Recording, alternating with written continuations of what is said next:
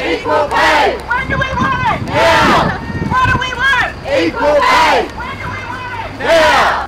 What do we So today is an historic day for early education. Uh, we've had um, 90 centres across Australia walk off the job. 20 of those were in Queensland. So over 3,000 educators have stood up today uh, in their fight for equal pay. In early education, uh, it's a female-dominated sector, uh, traditionally seen as women's work. So uh, educators are highly qualified. Uh, as you would understand, they do a really, really important job, and they can be paid as little as $21 an hour. Whereas they, if they were working in a male-dominated sector, they could be earning at least 10 to $15 more.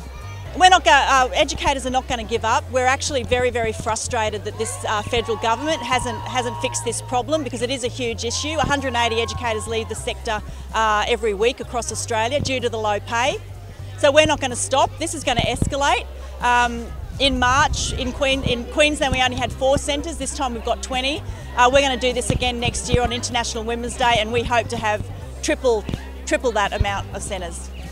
So we're asking the federal government to treat early education like they treat the the, um, the education system. Uh, it's part of education. It's part of a child's life. So we believe that the government should fund uh, early education.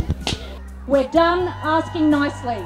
We call on the Prime Minister Malcolm Turnbull to fund equal pay right now. If he has not done this by the 1st of February 2018, we resolve to call massive close down actions across Australia in March 2018. We will shut down the sector if we have to. Educators of Brisbane,